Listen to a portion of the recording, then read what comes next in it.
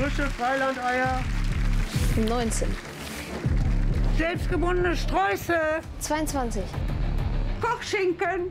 12. Was für die meisten nur ein gewöhnlicher Marktbesuch ist, ist für sein Gehirn ein wahrer Genuss. Hi, ich bin Philipp, bin 14 Jahre alt. Und wenn ich ein Wort oder einen Satz höre, weiß ich sofort, wie viele Buchstaben es sind. Das waren übrigens 106 Buchstaben. In der Grundschule haben wir halt so ein Spiel gespielt mit unserer Lehrerin, äh, Buchstaben zählen. Und da habe ich halt gemerkt, dass ich das gut kann. Für mich war es halt am Anfang so, ich, ich dachte, das wäre normal. So. Es ist halt unterbewusst und also ich weiß halt nicht genau, woher es kommt. Zu Hause oder anderswo, in Philipps Alltag dreht sich alles um Buchstaben. Von A wie Apfelbaum, in dem der 14-Jährige besonders gerne klettert, oder B wie Bauwagen, Das ist unser Bauwagen. Da spiele ich immer nach der Schule mit meinem Freund Peter Tischtennis.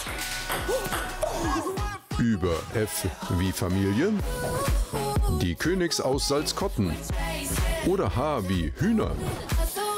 Das sind unsere Hühner. Wir haben schon Hühner seit ungefähr 10 Jahren. Und ab und zu gibt es Frühstückseier von denen. Und schließlich Z natürlich wie sein Zimmer. Das ist mein Zimmer. Kommt rein. Das ist so meine Lieblingsbücherecke. Da sind so Rubrik Fantasy alles. Äh, Das ist eher so ein Grundschulregal. Da leiht sich mein Bruder ab und zu was aus, wenn er dann was lesen möchte. Äh, Hier mache ich meine Schularbeiten. Hier steht auch noch meine Gitarre.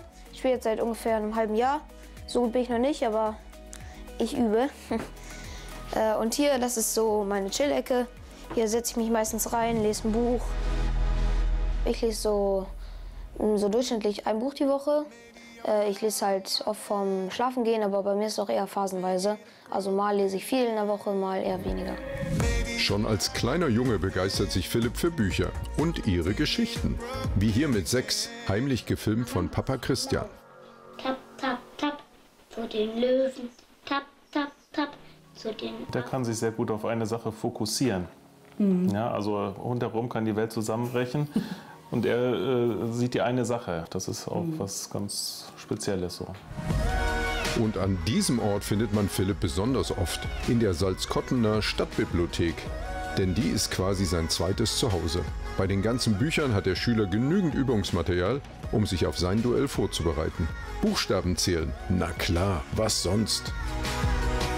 Wenn ich Buchstaben zähle, ist es so, ich höre ja das Wort und dabei probiere ich dann halt möglichst schon dabei zu zählen.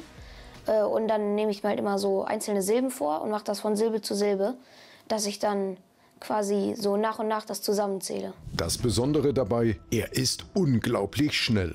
Wenn ich jetzt zum Beispiel Toaster nehme, wüsste ich halt sofort, dass es sieben sind. Äh, ja klar. Und wie schlagen sich wohl andere beim Buchstabenzählen? Diese extrem mutigen Menschen wollen es ausprobieren und stellen sich dem ultimativen Test.